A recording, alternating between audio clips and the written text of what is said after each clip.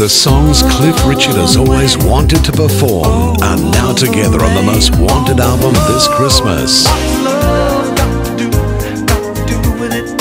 Cliff Richard, Wanted.